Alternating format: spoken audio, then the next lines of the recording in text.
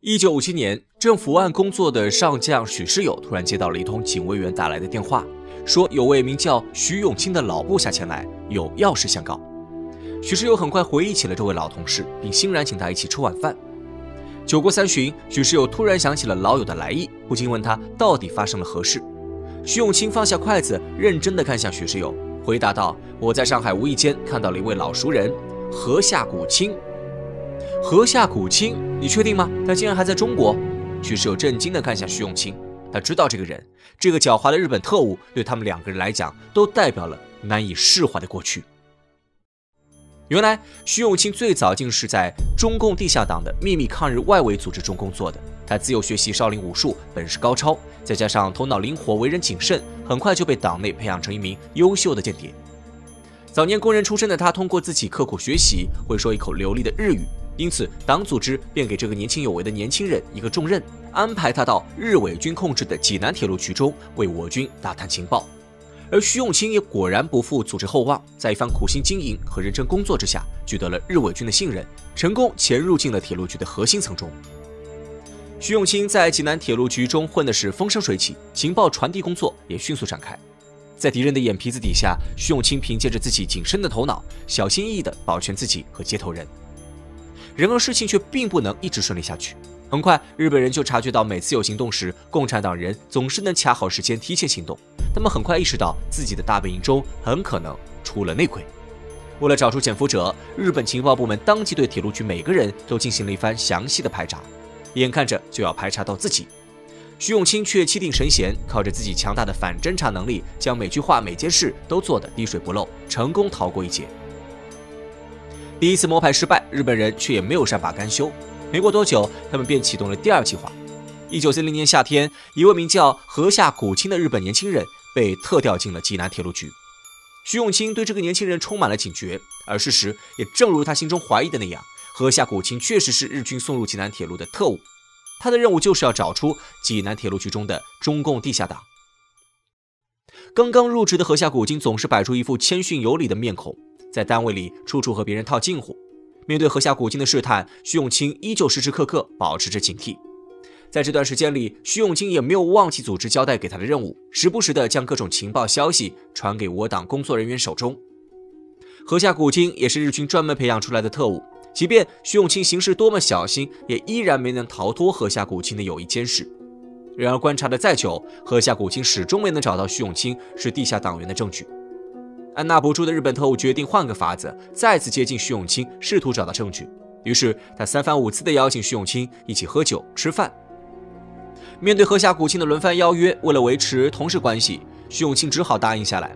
酒足饭饱，侃天之际，河下古清状似无意地向徐永清透露自己的童年经历。他说，他的父母都是早年到中国东北行医的大夫，甚至他自己就是出生在中国吉林。童年在中国生活的经历让他学会了汉语，并且在与中国人相处的过程中和他们结下了深厚的情谊。但是面对河下古清这样的真情流露，徐永清并没有被完全打动，只是感慨地向他劝酒。河下古清一计不成，再生一计，话锋一转，开始感慨自己渴望回到日本，并对日本人在中国犯下的种种恶行表示愤恨。尽管如此，徐永清对河下古清还是保持着一份疏离的态度。然而河下古清并没有放弃。他开始公开在铁路局中发表自己的反战观点，表现出一副丝毫不畏惧日本宪兵队调查和迫害的样子。单位里也开始逐渐传起河下古清有同情中国抗日战争的言论，甚至有人还传出这位年轻的日本工程师曾经秘密救助过一些中国抗日人士。氛围被渲染到这个程度，很快就连徐永清都有些动摇了。难道河下古清真的是一位国际友好人士吗？就在徐永清有些犹豫不决时，意外发生了。一次，济南铁路局突然接到通知，说日本国内的皇室成员即将到济南来视察。徐永清像往常一样，将这个情报传递给了地下党组织。没过多久，组织上就向他下达了任务指令，要求他在济南的火车站站台上张贴反日标语，要用这种方式好好杀一杀日军嚣张的气焰。然而事情却并不如徐永清一开始想的那般简单。他发现，狡猾的日本人事先就安排了宪兵队日夜在车站外严防死守。徐永清根本就找不到任何机会潜入火车站完成任务。就在他一筹莫展之际，河下古清又一次进入了他的视野。他知道河下古清已经对他的特务身份有所察觉，但是并没有向铁路局告发他，反而是有意无意的给他打掩护，暗中对他施以援手。如今这个任务眼看就要失败，何不铤而走险，信任河下古琴一次？也许真的就事有非敌呢？于是徐永清抱着试探的态度，再次吃饭时向河下古清提了这件事。令他没想到的是，河下古清竟毫不犹豫地答应了他，当即就表示：“徐兄不必担心，这件事包在我身上。”河下古清果然按照徐永清的指示，在火车站的墙上贴满了抗日标语，一时间满城轰动。第二日的报纸上尽是相关的新闻，有的甚至作为小道消息，在日本国内也流传开来。经过这件事，河下古清几乎已经彻底取得了徐永清的信任。很快，组织也了解到河下古清的情况，在经过一番研究过后，指示徐永清可以进一步跟河下古清接触。就这样，河下古清混入了我国的情报机构。后来，甚至在中日反战青年联盟中承担组织工作。在工作期间，河下古清收集了大量有关我党地下组织的资料。潜伏已久的特务终于露出了爪牙。不久后，徐永清接到组织任务，命令他到济南郊区和另一位工作人员接头。途中，他发现居然有大量的日本人竟提前在此埋伏，前来抓捕他。徐永清当即就惊呼不妙，糟了，他被骗了。也幸亏徐永清自幼学习少林武术，武艺高超，在一番恶斗之后，总算是拖着一副重伤的身体逃出了日军的魔爪，逃离了济南。之后，当徐永清再次和组织接头后，果然听到了河下古清叛变的消息。河下古清作为日本安插在济南铁路局特务的真相，终于浮出水面。然而，此时说什么都为时已晚。通过河下古清传递的情报，我党多位情报人员因出卖被捕，还有很多年纪轻轻的抗日青年被日军残忍杀害。